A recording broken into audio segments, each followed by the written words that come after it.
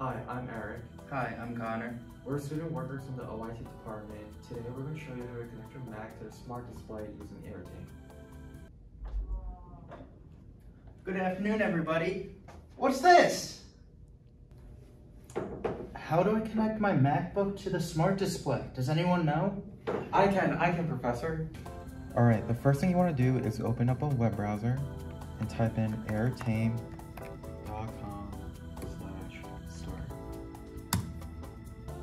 The second step is to press download.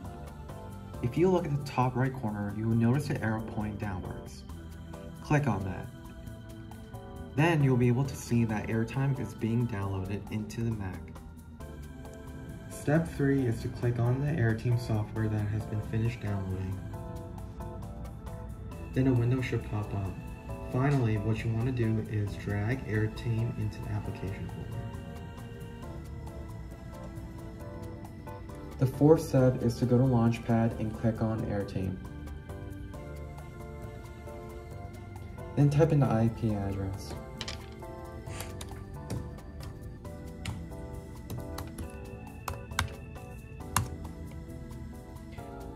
Also, click on favorite, that way you won't have to type in the IP address again.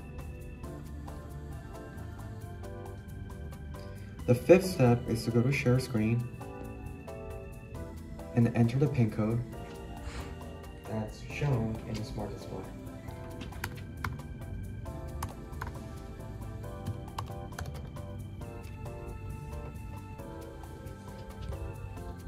There we go. If you want sound to be heard in the smart display, you want to press the icon right here.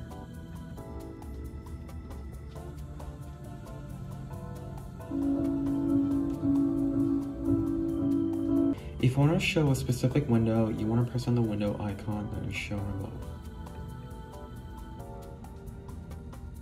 And then click on the window that you prefer.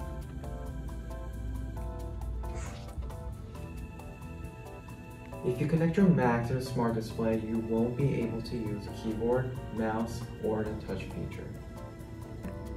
If you want to exit out of AirTame, you want to click on the red icon right here.